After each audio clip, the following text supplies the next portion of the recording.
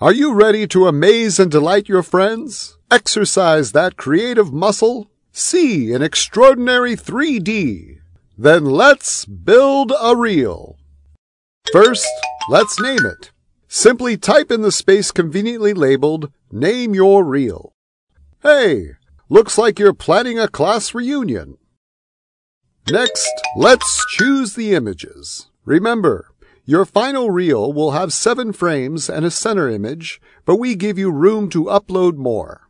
To choose an existing image from your computer, click Upload, select a file, and Neat Flat Top.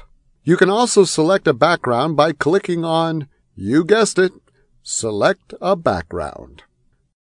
Edit an image. Now that your images are uploaded, you can make changes and add type.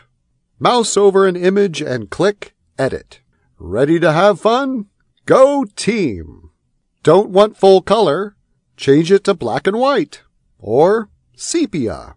Want to see those pom-poms better? Scale it up a bit. You can even move your image around simply by clicking and dragging. Add and edit text. Now let's add text. Just type in this box and it'll appear right over your image. Change the type size. Choose a different typeface or color here. And to reposition, just click on the type box and drag. Say, that looks swell. Let's click Done. Choosing frames. Now that we have all of our images uploaded and edited, just drag and drop them into the final frames. Oops! Don't want that there? Eject back to the top, then drag and drop again. Don't forget your center image. Now let's preview. Preview your reel. This is just how it will appear through your Image 3D viewer. If you love what you see, click Approve Your Reel.